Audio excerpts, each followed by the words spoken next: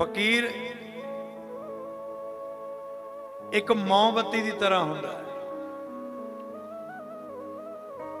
ਫਕੀਰ ਫਕੀਰ ਹੋਵੇ, ਆਪਣੇ ਮੁਰਸ਼ਿਦ ਦੀ ਜ਼ਾਤ ਤੇ ਯਕੀਨ ਕਰਨ ਵਾਲਾ। ਫਕੀਰ ਹੋਵੇ,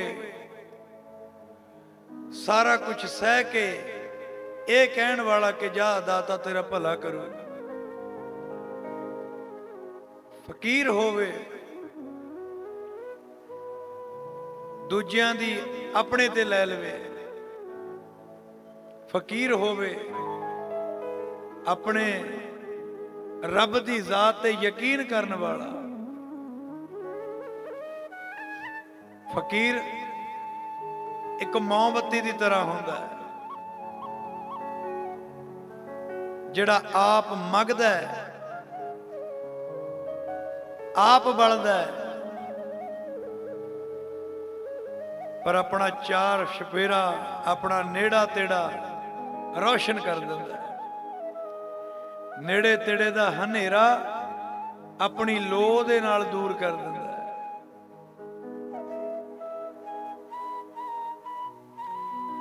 ਇੱਕ ਚੰਗਾ ਇਨਸਾਨ ਜਦੋਂ ਚੰਗਿਆਂ ਜਦੋਂ ਕੋਈ ਚੰਗਾ ਇਨਸਾਨ, ਜਦੋਂ ਕਿਸੇ ਨੇਕ ਇਨਸਾਨ ਦੀ ਸੰਗਤ ਕਰਨ ਨੂੰ ਮਿਲਣਾ ਮੌਕਾ ਮਿਲ ਜਾਵੇ ਨਾ, ਤੇ ਉਹਦੀਆਂ ਨੇਕੀਆਂ ਤਾਰ ਦਿੰਦੀਆਂ ਨੇ।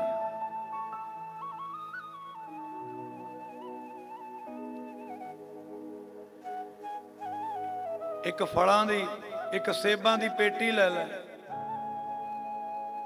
ਉਸ ਸੇਬਾਂ ਦੀ ਪੇਟੀ ਦੇ ਵਿੱਚ ਇੱਕ ਸੇਬ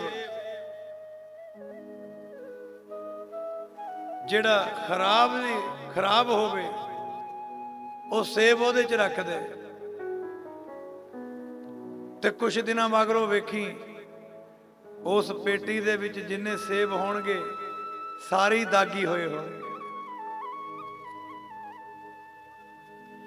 ਕਿਉਂਕਿ ਰੰਗਤ ਉਦਾਂ ਦੀ ਉਹ ਚੜਦੀ ਹੈ, ਜਿੱਦਾਂ ਦੀ ਰੰਗਤ ਚ ਪੈਂਦਾ ਹੈ। ਜੇ ਬੰਦਗੀ ਵਾਲੇ ਚ ਬਹੂੰਗਾ ਕਿਸੇ ਨੇਕ ਰੂਹ ਦੇ ਨੇੜੇ ਬਹੇਗਾ ਤਾਂ ਤੇਰੀ ਰੂਹ ਵੀ ਤਰ ਜਾਣੀ ਹੈ।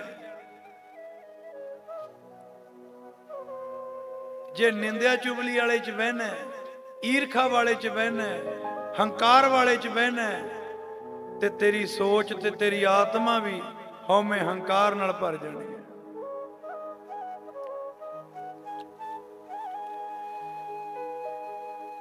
ਇਸ ਸੰਸਾਰ ਦੇ ਵਿੱਚ ਬਾਹਰ ਵਾਲਾ ਕੋਈ ਵੈਰੀ ਨਹੀਂ। ਵੈਰੀ ਤਾਂ ਬੰਦੇ ਦੇ ਆਪਣੇ ਅੰਦਰ ਬੈਠੇ ਪੰਜ ਸ਼ੈਤਾਨ ਨੇ।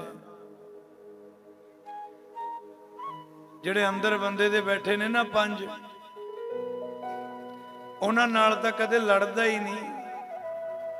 ਦਿਨ ਰਾਤ ਲੋਕਾਂ ਨਾਲ ਲੜਨ ਤੇ ਲੱਗਿਆ ਹੋਇਆ। ਪਹਿਲਾ ਵੈਰੀ ਮਨ ਸ਼ੈਤਾਨ ਹੈ।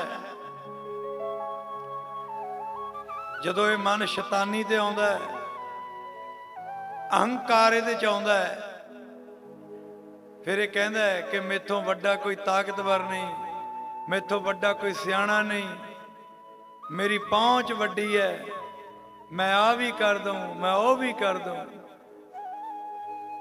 ਉਦੋਂ ਬੰਦਾ ਨਹੀਂ, ਉਹਦਾ ਪਹਿਲਾ ਵੈਰੀ ਇਹ ਮਨ ਬੋਲਦਾ ਹੁੰਦਾ।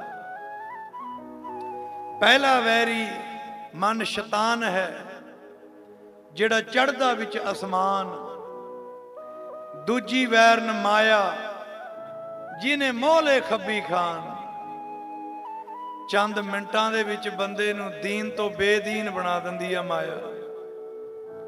ਚੰਦ ਪਲਾਂ ਦੇ ਵਿੱਚ ਹੀ ਬੰਦਾ ਦੀਨ ਧਰਮ ਨੂੰ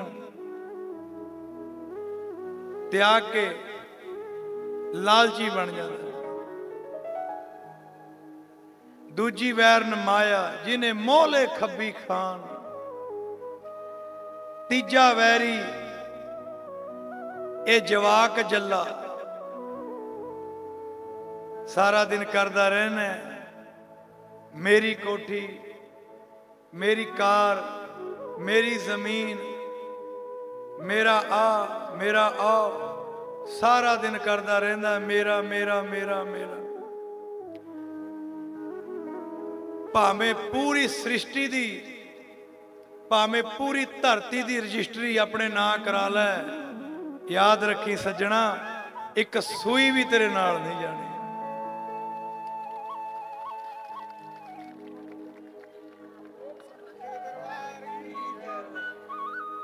ਪੂਰੀ ਧਰਤੀ ਕਿਉਂ ਨਾ ਆਪਣੇ ਨਾਂ ਕਰਾ ਲਾ? ਪੂਰੀ ਧਰਤੀ ਦਾ ਰਾਜਾ ਬਣ ਜਾ। ਪੂਰੀ ਸ੍ਰਿਸ਼ਟੀ ਦਾ ਰਾਜਾ ਬਣ ਜਾ। ਪਰ ਯਾਦ ਰੱਖੀ, ਇੱਕ ਸੂਈ ਵੀ ਤੇਰੇ ਨਾਲ ਨਹੀਂ ਜਾਣੀ। ਫਕਰਾ, ਆ ਜਿਹੜਾ ਮਿੱਟੀ ਦਾ ਬੁੱਤ ਚੱਕੀ ਫਿਰਦਾ, ਇਹ ਵੀ ਤੇਰਾ ਨਹੀਂ।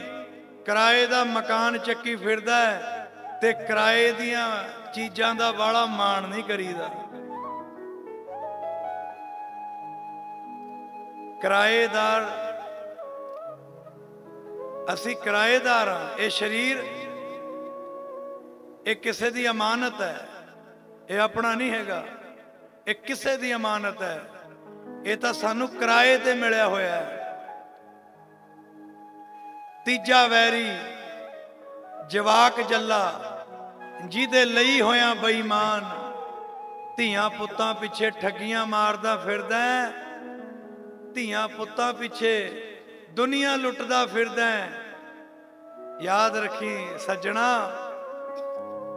ਖੁਦਾ ਦੇ ਬੰਦਿਆ, ਜਿਨ੍ਹਾਂ ਧੀਆਂ ਪੁੱਤਾਂ ਪਿੱਛੇ ਦਿਨ ਰਾਤ ਠੱਗੀਆਂ ਮਾਰਦਾ ਉਹਨਾਂ ਧੀਆਂ ਪੁੱਤਾਂ ਨੇ ਤੈਨੂੰ ਅਗਨੀ ਲਾ ਕੇ ਸਿਵਿਆਂ ਦੇ ਵਿੱਚ ਸਾੜ ਕੇ ਮੁੜ ਕੇ ਤੇਰੀ ਸਾਰ ਨਹੀਂ ਲੈਣੀ।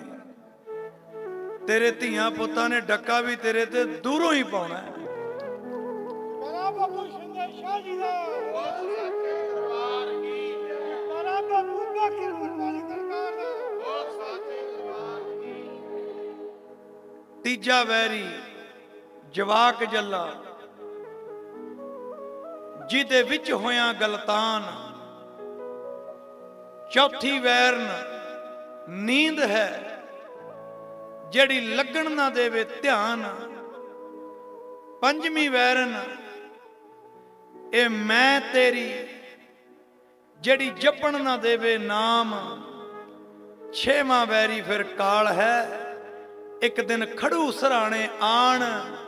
ਛੇ ਛੇ ਵੈਰੀ ਹੁੰਦਿਆਂ ਕਿਵੇਂ ਬਚੂ ਇਨਸਾਨ?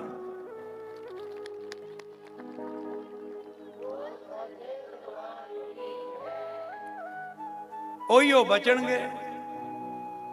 ਉਹੀਓ ਬਚਣਗੇ ਜਿਨ੍ਹਾਂ ਦਾ ਗੁਰੂ ਡਾਢਾ ਹੈ। ਉਹੀਓ ਬਚਣਗੇ ਜਿਹੜੇ ਮਾਲਕ ਸੱਚੇ ਦੇ ਘਰ ਨਾਲ ਸੱਚੀ ਆਤਮਾ ਤੋਂ, ਸੱਚੇ ਸਿਦਕ ਤੋਂ ਜਿਹੜੇ ਜੁੜੇ ਹੋਏ ਨੇ, ਜਿਹੜੇ ਹੱਕ ਤੇ ਸੱਚ ਤੇ ਚੱਲਣ ਵਾਲੇ ਨੇ। ਜਿਹੜੇ ਨੇਕੀਆਂ ਕਰਦੇ ਨੇ। ਜਿਹੜੇ ਗਊ ਗਰੀਬ ਦੀ ਰੱਖਿਆ ਕਰਦੇ ਨੇ।